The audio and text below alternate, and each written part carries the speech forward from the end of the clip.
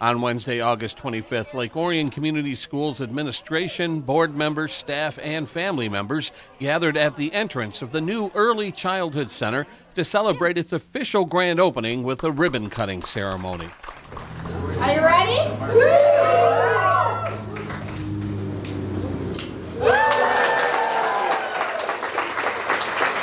This day I have been dreaming about. It is, has been my passion in working in this field.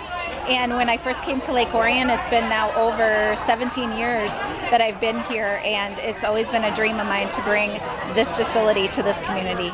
This is a really important day. Early childhood is the formation of, of all child experiences and, and education, and to have such a state of the art and, and wonderful facility, uh, second to none, and I'm really looking forward to seeing the difference in the years to come. The school district broke ground on the center in June of 2020.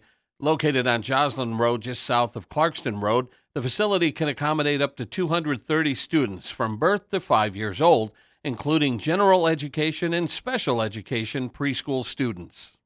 So it is preschool, but it also is pre K, which is even before preschool. So this is really going to be the child's first school experience in the Lake Orion Community School District before they get to kindergarten. So, what types of things would a child experience here? Uh, anything from social emotional learning and education to gross motor, fine motor skills. We also have opportunities for kids to work together with their own families in our center and with uh, the adults that are teaching the programs. This project was made possible thanks to voters who approved a 160 million 10-year bond in November of 2018, which also allows the district to renovate other school buildings.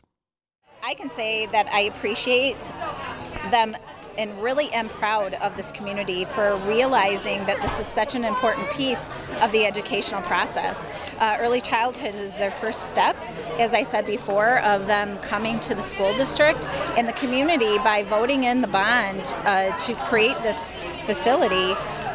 It's telling us this is important to them and their families here. So um, I, am over the moon thankful and I'm just so proud of that and being a part of this community.